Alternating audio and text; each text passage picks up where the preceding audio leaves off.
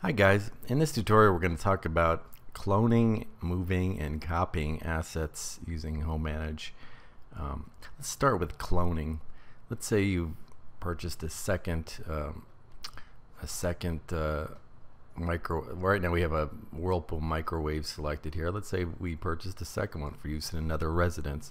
What you can do instead of adding the item again is just clone it. So we select the asset click the clone button and you can see here a second instance uh, has been added to uh, the main residence. And um, it has all the exact same information as the first one. If you need to change a couple things like let's say for example the price is different uh, just go ahead and type that in. Click OK and you can see the price has changed. Now let's say this uh, second microwave is for use in another residence uh, let's say we've got two two residences, a main residence and a Montreal apartment. Uh, what all you have to do to move it over to that new location is you just select it with your mouse and drag it on over. Now, if you was to hold down the control key,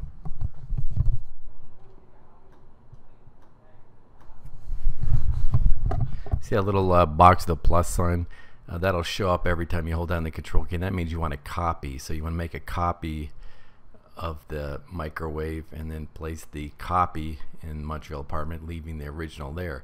But in this situation we want to move the asset from one location to another so we're just dragging it over without holding down the control key. So we go ahead and do that. And now in Montreal you'll see the newly uh, newly cloned asset. Now let's look at another example.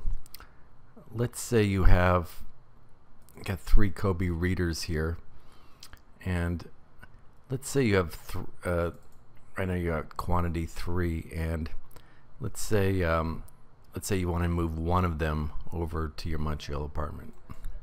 So the next time you go there you're going to be taking one of those on your trip. Now what you can do here is select the item and click up here at the move copy button. And see this quantity to move down here now let me digress a little bit. If you don't see this quantity to move uh, and you're using HomeManage 2017, it means you need the latest update. And to download that, you just like help, uh, check for updates, and it'll, it'll, download the latest update. This was released on August 10, uh, 2016. Anyway, so let's go back. So we click on that, select, select Move Copy let's say we just want to move one to the Montreal location. We just uh, change quantity to move to one. And I'm going to click on Montreal apartment, hit OK. Now in Montreal apartment you have the one uh, of the Kobo e-readers has been uh, moved there.